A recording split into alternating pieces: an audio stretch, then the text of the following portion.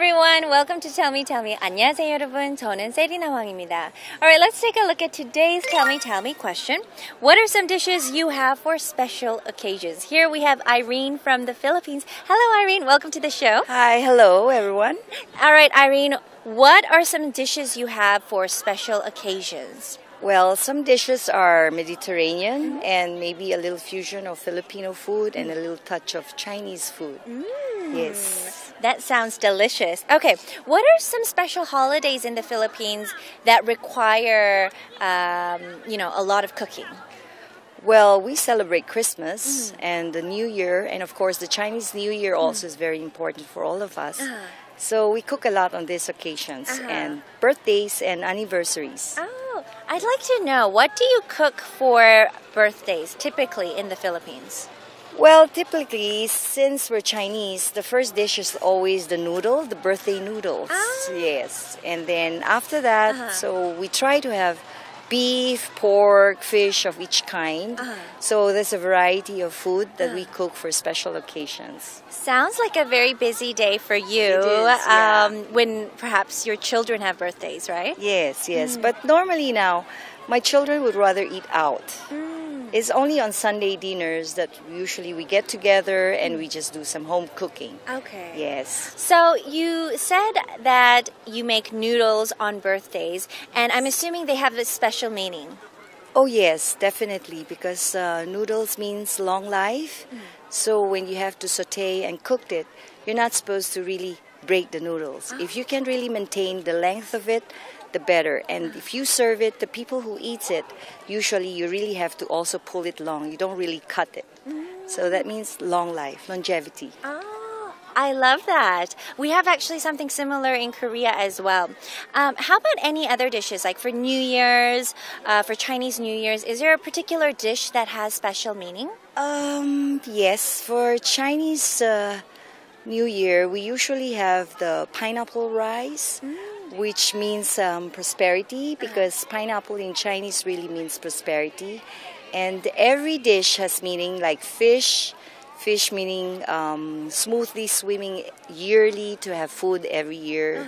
And we also have a certain seaweed soup with tofu, which gives also the meaning of uh, long life and prosperity.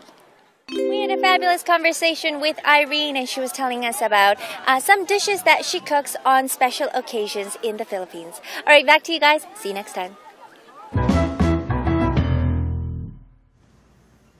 자, 필리핀에서 오신 분이었습니다. 이제 중국계이시다 보니까 아무래도 중국에서 유래된 여러 가지 문화적 그런 콘텐츠 혹은 음식을 또 많이 이렇게 얘기를 해주신 것 같아요. 자, 필리핀에서도 이제 중국계가 많기 때문에 어, 네. 어떤 얘기를 해주셨는지 정리를 한번 해보겠습니다. 자, 자막으로 중요한 부분만 다시 한번 보죠. Okay, so um, Irene was talking about what type of special occasions. 어, 일단 좀 특별한 음식을 준비하는 날들은 뭐 생일, 당연히 생일 포함이 돼 있죠. 뭐 기념일, 크리스마스, 기타 등등 이런 얘기가 나왔는데요. 네, 이제 저도 하와이에서 자라면서 필리핀어 친구들이 되게 많았어요. 그래서 되게 가정적이고 뭔가 이렇게 가족 가족끼리 모일 때 크게 보이더라고요. 막 사촌들까지 이모, 뭐 고모부 다 모여서 약간 되게 파티 분위기를 즐겨 하는 문화가 있더라고요.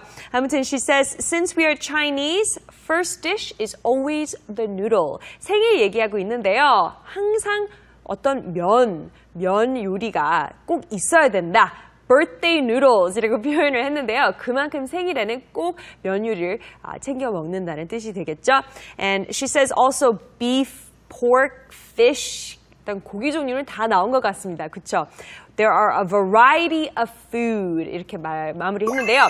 Variety of 뭐뭐뭐라고 하면 뭐뭐뭐가 다양하게 있다라는 뜻이잖아요. 여기서는 food 음식 얘기하고 있으니까요. 여러 종류의 음식이 준비되어 있다. 다양하게 준비되어 있다. 이런 말이 되겠습니다. Now, um, Serena She says, okay, well, what about your children for their birthdays? Uh, what do you do? Right? But Irene said, my children, they would rather eat out. 네, 아무래도 그게 조금 더 편하긴 한 것 같아요. 뭐 이렇게 특별히 준비하는 것보다는 맛있게 먹고 싶으면 편하게 그냥 외식하는 것도 옵션이죠. 그래서 would rather eat out, would rather do 뭐뭐뭐라고 하면 뭐뭐 하는 게 더, 어, 뭐뭐 하는 것을 더 선호하다 이런 뜻이 되겠는데요. 여기서 eat out, 그냥 먹다라는 게 아니고 eat out이니까 out, 밖으로 나가서 먹는 거니까 외식이 되겠습니다. 외식하는 거를 선호한다 이런 뜻이었고요. And um, she also talks about noodles. 왜 noodles, 면, 국수를 챙겨 드시는지 설명해 주셨는데요. Noodles mean long life. 네, 우리 문화에도 뭐 떡국 먹을 때도 그런 의미가 담겨 있잖아요. Noodles, noodles mean long life. 일단 면, noodles, 국수는 어떤 어떤 의미를 갖고 있다. 어떤 의미죠? Long life, 장수를 의미하다. 이런 뜻이 되겠습니다.